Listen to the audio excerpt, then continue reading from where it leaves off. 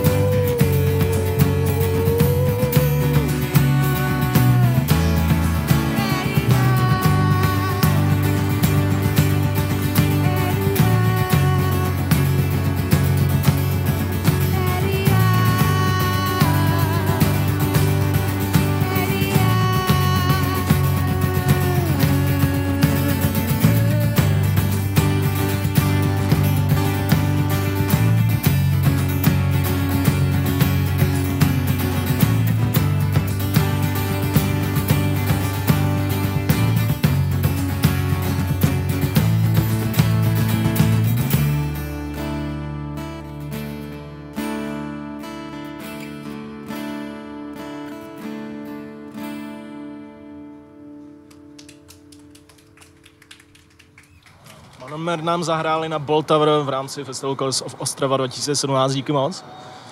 A my jsme nás natočili před pár lety a co se stalo od té doby? Natočili jste nějakou novou desku nebo teprve chystáte?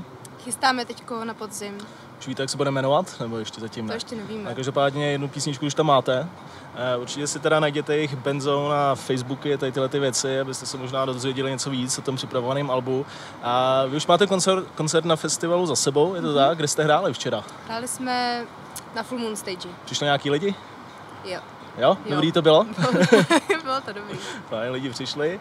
A teďka, co máš nějaký soukromý tip, eh, jako na co se chce ještě, chcete ještě podívat? Eh, Je poslední den festivalu, takže už toho moc nezbývá. Máte něco, něco společného, na, co se, na čem se potkáte? Tak kromě Jamie Rockovej, na který se těšíme, tak uh, určitě doporučujeme i Esa z lesa. Esa z lesa. Hrajou, hrajou tu samou dobu a Ete Enaka. Popravdě Esa z lesa neznám, teda jsem se ještě nikdy to, ještě nikdy nepustil, co hrajou za, za hudbu nevím, za styl. Takový tvrdárny. Tvrdárny, takže vy jste na tvrdý věci, jo, super.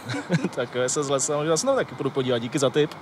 A tohle byli Manon Mert na Ball Tower, uh, Colors of Ostrava 2017 a vy se nás pustíte zase příště. Čau. Back in ETV,